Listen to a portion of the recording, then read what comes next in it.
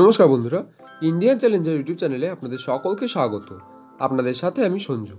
বন্ধুরা, রাজ্যে আবারও নতুন করে সিভিক ভলেন্টিয়ার নিয়োগের জন্য একটি বিজ্ঞপ্তি প্রকাশিত হয়েছে, যেখানে পুরুষ ও মহিলা উভয় প্রার্থীরাই আবেদন করতে পারবেন যদি আপনারা ন্যূনতম অষ্টম শ্রেণি পাশ করে থাকেন, তাহলে অবশ্যই আজকের এই ভিডিওটি প্রথম থেকে শেষ পর্যন্ত দেখবেন। কারণ আজকের এই ভিডিওতে আমি আপনাদেরকে জানাব কীভাবে আপনারা এই চাকরির জন্য আবেদন করবেন এবং এই চাকরির যোগ্যতা এবং আবেদনের শেষ তারিখ সম্পর্কে আরও বিস্তারিত আলোচনা করব। তো চলুন দেরি না করে আজকে ভিডিওটি শুরু করা যাক। আর শুরু করার আগে প্রত্যেকবারের মতো বলে রাখি, আপনি যদি এখনও পর্যন্ত আমাদের এই চ্যানেলটিকে সাবস্ক্রাইব না করে থাকেন তাহলে এখনই ওই লাল রঙের লেখা সাবস্ক্রাইব বাটনটিতে ক্লিক করে নিন এবং সাবস্ক্রাইব করার পর পাশে থাকা বেল আইকনটিতে প্রেস করে দিন পরবর্তী চাকরি সম্পর্কিত সমস্ত তথ্য সঠিক সময় পাওয়ার জন্য। তো চলুন দেরি না করে আজকের ভিডিওটি শুরু করা যাক।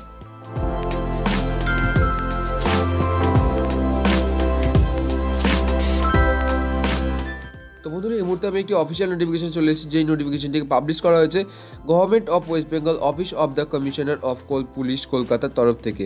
এবং নিচে কিন্তু এদের অ্যাড্রেসটি দিয়ে দিয়েছে এবং বাঁদিকে বলে দিয়েছে এদের এমপ্লয়মেন্ট নোটিফিকেশন নাম্বারটি বা অ্যাডভাইজমেন্ট যে নাম্বারটি সেই নাম্বারটি দিয়ে দিয়েছে এবং ডান দিকে কিন্তু বলে দিয়েছে, এই নোটিফিকেশনটি পাবলিশ করা হয়েছে আঠাশে জানুয়ারি দু হাজার উনিশে এবং এখানে কিন্তু প্রচুর ইউনিটে নিয়োগ করা হচ্ছে। আমি সমস্ত কিছু আলোচনা করব আপনাদেরকে, তো অবশ্যই আপনারা ভিডিওটিকে প্রথম থেকে শেষ পর্যন্ত দেখবেন। আর কীভাবে আবেদন করবেন সেটা ভিডিওর শেষে আমি একবারে দেখিয়ে দেবো এবং আবেদন ফর্ম সহ দেখিয়ে দেবো আপনারা কীভাবে আবেদন করবেন। টোটাল কিন্তু দশটি ইউনিটে নিয়োগ করা হবে এখানে এবং দুশো চল্লিশটি টোটাল পোস্ট রয়েছে। এদের মধ্যে কিন্তু বলে দিয়েছে টোটাল এক থেকে নয় পর্যন্ত শুধুমাত্র ওমেন ক্যান্ডিডেটরা শুধুমাত্র আবেদন করতে পারবেন এবং দশ নম্বর যে ইউনিট রয়েছে সেই ইউনিটে কিন্তু মেন এবং উমেন অর্থাৎ পুরুষ, মহিলা, উভয় প্রার্থীরা কিন্তু আবেদন করতে পারবেন। তো প্রথম যে ইউনিটটি রয়েছে, দেখে নিই আমরা north and north suburban division Kolkata police এক্ষেত্রে টোটাল কিন্তু পঁচিশটি ভ্যাকেন্সি রয়েছে এবং এই ইউনিটে আবেদন করতে হলে আপনাদেরকে এই অ্যাড্রেসে কিন্তু আপনাদেরকে আর কি আবেদন ফর্মটিকে সাবমিট করতে হবে। তো সেই ঠিকানাটি দেখে নিন। যে deputy commissioner of police, north and north suburban division, Kolkata address হলো একশো তেরো এপিসি রোড, কলকাতা সাত লক্ষ নয়। এই অ্যাড্রেসে কিন্তু আপনাদেরকে পাঠাতে হবে। সেকেন্ড যে ইউনিট, সেটি হলো south division, Kolkata police. Total পঁচিশটি ভ্যাকেন্সি রয়েছে অ্যাড্রেস দিয়ে দেওয়া হয়েছে নিচে। Thirty four park street Kolkata সাত লক্ষ ষোলো। পরবর্তী পোস্টটি হলো সেন্ট্রাল ডিভিশন কলকাতা। এক্ষেত্রে টোটাল পঁচিশটি ভ্যাকেন্সি রয়েছে। অ্যাড্রেস দিয়ে দেওয়া হয়েছে একশো আটত্রিশ S N Banerjee road Kolkata সাত লক্ষ তেরো। চার নম্বর ইউনিটটি হলো port division Kolkata police. Total পঁচিশটি ভ্যাকেন্সি রয়েছে এবং এক্ষেত্রে আপনাদের আবেদন পত্র সাবমিট করতে হবে এই অ্যাড্রেসে যে দুমায়ুন অ্যাভিনিউ কলকাতা সাত লক্ষ তেতাল্লিশ এবং পরবর্তী যে পাঁচ নম্বর ইউনিটটি eastern suburban division Kolkata police total পঁচিশটি ভ্যাকেন্সি রয়েছে এবং এখানে কি বলা হয়েছে? আপনাদের অ্যাড্রেসটি হলো হেমচন্দ্র নস্কর রোড, কলকাতা সাত লক্ষ দশ। হ্যাঁ এবং পরবর্তী যে ছ নম্বর ইউনিটটি south east division Kolkata police total পঁচিশটি ভ্যাকেন্সি রয়েছে। অ্যাড্রেস হলো শহীদ আমির আলী এভিনিউ, কলকাতা সাত লক্ষ সতেরো। পরবর্তী যে ইউনিটটি south suburban division Kolkata police total পঁচিশটি ভ্যাকেন্সি রয়েছে। ডিভিশন অ্যাড্রেস দিয়েছে এখানে কি বলছে যে Tollygunge emergency force lines two fifty five by two fifty seven DPS road Kolkata সাত লক্ষ তেত্রিশ। পরবর্তী যে পোস্টটি south west division Kolkata police total পঁচিশটি কিন্তু এক্ষেত্রে ভ্যাকান্সি রয়েছে। আর আপনাদের অ্যাড্রেস হলো Tollygunge emergency force lines two fifty five two fifty seven DPS road Kolkata সাত লক্ষ তেত্রিশ। পরবর্তী যে পোস্টটি, ন নম্বর east division Kolkata police total পঁচিশটি ভ্যাকেন্সি রয়েছে। প্রত্যেক থেকে কিন্তু পঁচিশটি, এক থেকে নয় পর্যন্ত পঁচিশটি করে ভ্যাকেন্সি রয়েছে বাট দশ নম্বর যে পোস্ট সেখানে কিন্তু টোটাল পনেরোটি ভ্যাকেন্সি রয়েছে। যাই হোক, তো এর অ্যাড্রেস কী বলেছে? D fifty by two east Rajpur Santoshpur Kolkata সাত লক্ষ পঁচাত্তর। দশ নম্বর যে ইউনিটটি কলকাতা মাউন্টেন পুলিশ ফিফটিন অর্থাৎ পোস্ট সংখ্যা হচ্ছে পনেরো। টোটাল কিন্তু আর এক্ষেত্রে অ্যাড্রেস বলছে diamond Harbour diamond Harbour road Kolkata সাত লক্ষ সাতাশ। এক্ষেত্রে টোটাল কিন্তু দুশো চল্লিশটি ভ্যাকেন্সি রয়েছে। হ্যাঁ। আর এখানে আপনাদের কিছু টার্মস অ্যান্ড কন্ডিশন রয়েছে। তো টার্মস অ্যান্ড কন্ডিশন কী কী বলা হয়েছে? Preferably a resident of the area under the Kolkata police jurisdiction এবং সেকেন্ডে কী বলা হয়েছে? Minimum age of applicant should be twenty years as as on one day January two thousand nineteen and maximum age sixty years minimum education qualification class eight অর্থাৎ অষ্টম শ্রেণি পাশ হলে কিন্তু আবেদন করতে পারবেন এবং preference would be given to the applicants who have done well in sports, have experience as NCC cadet এবং boy scouts NSS guide civil defence volunteers তো এগুলো থাকলে কিন্তু আপনারা অবশ্যই এক্ষেত্রে অনেকটা আপনারা বেনিফিট পাবেন বা অগ্রাধিকার পাবেন। তো এবং কি বলছে should not have any criminal record against his her অথবা ইন এনি পুলিশ স্টেশন অর্থাৎ আপনাদের বিরুদ্ধে যদি কোনো আপনাদের এগেনস্টে কোনো যদি আপনাদের ক্রিমিনাল কেস থাকে, তাহলে কিন্তু আবেদন করতে পারবেন না। এবং should be preferably physically mentally and fit রাখতে হবে। অবশ্যই ফিজিক্যালি মেন্টালি ফিট থাকতে হবে এবং candidates men O man applying for Kolkata mounted police need to be willing to work with animals and have experience with the regard হ্যাঁ এইসব যোগ্যতাগুলো থাকলে বা এইসব আপনাদের অভিজ্ঞতাগুলো থাকলে কিন্তু অবশ্যই এই চাকরির ক্ষেত্রে আবেদন করতে পারবেন। সিলেকশন প্রসেস এখানে বলে দিচ্ছি, সমস্ত কিছু দেখে নেবেন। হুম। তো এখানে বলেছে হাউ টু অ্যাপ্লাই অর্থাৎ কীভাবে আবেদন করবেন। এখানে অ্যাপ্লিকেশন ফর্মের সম্পর্কে সমস্ত কিছু বলা হয়েছে। অ্যাপ্লিকেশন ফর্মের সাথে এই এই ডকুমেন্টসগুলো আপনাদেরকে সাবমিট করতে হবে। তো অ্যাপ্লিকেশন ফর্মটাকে কিন্তু আপনাদের এ ফোর সাইজের পেজে ডাউনলোড করতে হবে। অর্থাৎ এ ফোর সাইজের পেজে কিন্তু আপনাদেরকে প্রিন্ট আউট করতে হবে এবং ভালো করে সেই প্রিন্ট আউট করা ফর্মটিকে ভালো করে ফিল আপ করে এই সমস্ত ডকুমেন্টসগুলো দিয়ে ফিল আপ করে সমস্ত কিন্তু একবার জমা দিতে হবে।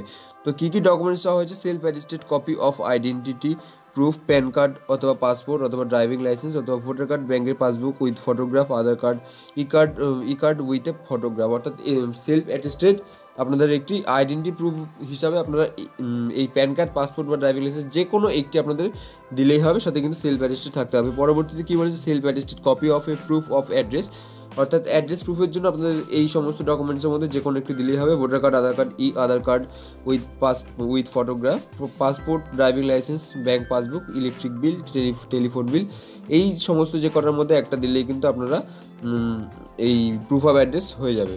এবং one self attested passport size photograph passport সাইজের একটি ফটোগ্রাফ চাওয়া হয়েছে সেলফ অ্যাটেস্টেড করা তো পরবর্তী চার নম্বরটি বলছে self attested copy of a document regarding proof age অর্থাৎ এজ প্রুফের জন্য আপনাদেরকে অবশ্যই একটি ডকুমেন্ট দিতে হবে, সেটা বার্থ সার্টিফিকেট দিতে পারেন বা স্কুল লিভিং সার্টিফিকেট অথবা কিন্তু admit card showing date of birth অর্থাৎ এরকম একটি অ্যাডমিট কার্ড দিতে হবে আপনাদের পরীক্ষার, যেটা আপনাদের ডেট অফ বার্থ শো করানো আছে।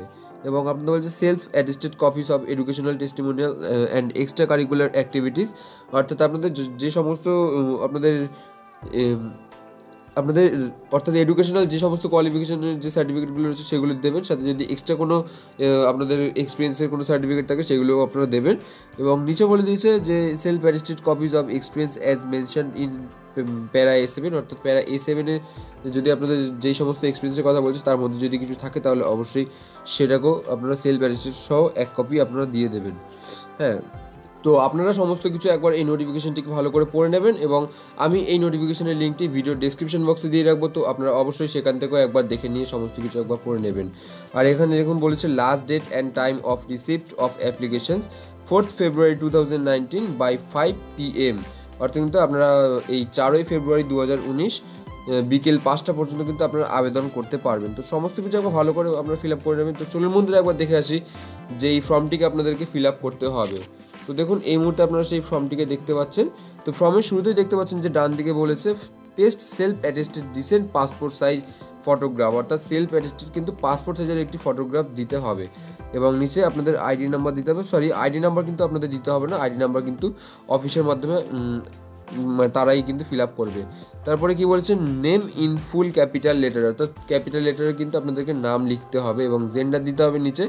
এবং তারপরে কিন্তু নিচে বলছে ডেট অফ বার্থ অর্থাৎ ডেট অফ বার্থ দিতে হবে। আপনাদের এখানে ফাদার্স নেম দিয়ে দেবেন মাদার্স নেম দিয়ে দেবেন মোবাইল নাম্বার দিয়ে দেবেন। সাথে যদি যদি আপনাদের ইমেল আইডি থাকে, তাহলে অবশ্যই দেবেন। আর না থাকলে কোনো দেওয়ার প্রয়োজন নেই। এখানে ম্যান্ডেটারি চাওয়া হয়নি। তো পরবর্তীতে আপনাদের প্রেজেন্ট অ্যাড্রেস বলেছে। প্রেজেন্ট অ্যাড্রেস দিয়ে দেবেন পার্মানেন্ট অ্যাড্রেস বলেছে। ক্যাটাগরি চাওয়া হয়েছে। কোন ক্যাটাগরি থেকে আপনারা বিলং করছেন? ইউআর অর্থাৎ জেনারেল ওবিসি বা, অথবা এসসি এসটি যেটাই হোক। এবং রিজন বলেছে রিলিজিয়ান কোন ধর্ম থেকে বিলং করছেন সেটাও দিয়ে দেবেন। ম্যাটেরিয়াল স্টেটাস বিবাহ হয়েছে কি হয়নি বা যেটাই হোক আপনারা দিয়ে দেবেন। আইডেন্টিফিকেশন মার্ক আপনাদের শরীরে কোনো এরকম কোনো আইডেন্টিফিকেশন মার্ক থাকলে দেবেন। ভোটার কার্ড বা আধার কার্ড নাম্বার যদি চান তো দিয়ে দেবেন এখানে। এবং তারপরে বলেছে educational qualification please attach photocopies of certificate সার্টিফিকেটের সমস্ত ফটোগুলো কিন্তু দিয়ে দিতে হবে। এক্সট্রা কারিকুলার অ্যাক্টিভিটিসের যদি কোনো সার্টিফিকেট বা এই টাইপের কিছু থাকে, তাহলে অবশ্যই সেগুলো দিয়ে দেবেন। এ বি সি করে আপনারা সেই সার্টিফিকেটের যে কোর্স করছেন, সেই কোর্সের কিন্তু নাম মেনশন করবেন এবং বলেছে ইনভলভমেন্ট ক্রিমিনাল কেস যদি কোনো ক্রিমিনাল ক্রিমিনাল কেস থাকে বা যদি ছিল আগে, তাহলে অবশ্যই সেগুলো ইয়েস করে দেবেন আর না থাকলে না করে দেবেন। যদি ইয়েস করেন, তাহলে অবশ্যই সেই সম্পর্কে উল্লেখ করবেন। সেই কেসটি সম্পর্কে। তো এগুলো সমস্ত কিছু করে কিন্তু আপনাদেরকে নিচে ফুল সিগনেচার করতে হবে। সিগনেচার করে বাদিকে ডেট এবং প্লেস দিয়ে সমস্ত ফর্মটিকে ভালো করে ফিল আপ করে কিন্তু নির্দিষ্ট ঠিকানায় আপনাদেরকে জমা দিয়ে দিতে হবে। তো বন্ধুরা, এই ছিল আজকে সমস্ত ভিডিও তো অবশ্যই ভিডিওটিকে একটি লাইক করে দেবেন এবং এই ভিডিও সম্পর্কে কোনো মতামত থাকলে অবশ্যই এই- এই ভিডিওর কমেন্ট বক্সে আপনারা কমেন্ট করে জানাবেন। আমি আপনাদের সাথে রিপ্লাই করব। আর ভিডিওটিকে শেয়ার করতে ভুলবেন না, কারণ শুধুমাত্র অষ্টম শ্রেণি পাশ করে থাকলে কিন্তু আপনারা এই চাকরির ক্ষেত্রে আবেদন করতে পারবেন। সেটা পুরুষ হোক বা মহিলা, উভয় প্রার্থীরা কিন্তু আবেদন করতে পারবে।